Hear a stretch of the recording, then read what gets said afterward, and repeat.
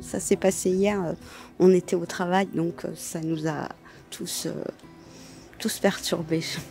Et encore aujourd'hui, très choqués, puisque ça pourrait être nous au niveau des urgences. Ça pourrait être nous, puisque c'est souvent qu'on a des, des gens un peu bizarres. Et puis, c'est pas très sécurisé.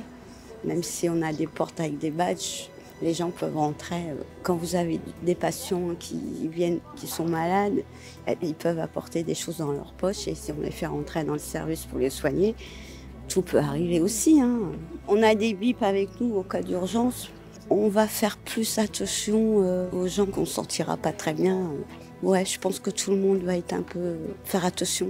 Ça fait froid dans le dos parce que je venais de quitter le bâtiment quand ça s'est produit. Ça s'est produit vraiment 10 minutes après. Donc euh, bah, je me dis que j'aurais pu croiser la personne et puis qu'on peut même plus travailler en sécurité alors que bah, on est tous des professionnels de santé. On est là pour aider les gens de base et qu'il puisse y avoir ce genre de choses, ça fait peur. Ça fait peur et puis ça fait vraiment, je ne sais pas ce qu'il faut dire, mais ça fait vraiment pitié.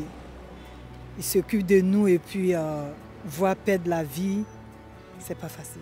Euh, Je viens régulièrement me faire soigner à Maison Blanche, où c'est un hôpital habituellement très tranquille. J'ai beaucoup de peine pour les personnes. Je pense que peut-être qu'il y a un manque de sécurité au niveau de l'entrée. Bien sûr, on va faire attention, mais euh, ça ne m'empêchera pas de venir ici parce que c'est un très bon site médical.